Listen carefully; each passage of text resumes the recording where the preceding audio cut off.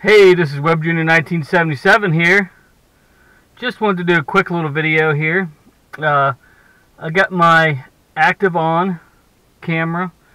I got it finally basically mounted here on a on my sandbag that I've had for years and never really had a chance to use it because it's like a suction cup thing. Um, kind of got the wrong thing. But I used some double-sided tape and the, the mount that the Activeon comes with along with the uh, waterproof case, which is no longer waterproof due to the fact that I need to uh, be able to use the mic better. Um, but yeah, we'll see how it goes. Don't forget to check out new videos coming up. Me driving. I'm probably going to be doing another one here pretty soon. One here pretty soon. So yeah, thanks for watching everybody, and until next time, I'll either be, well, here in... Uh, my new Jeep, or I'll meet you right back in the Oasis. Thanks for watching.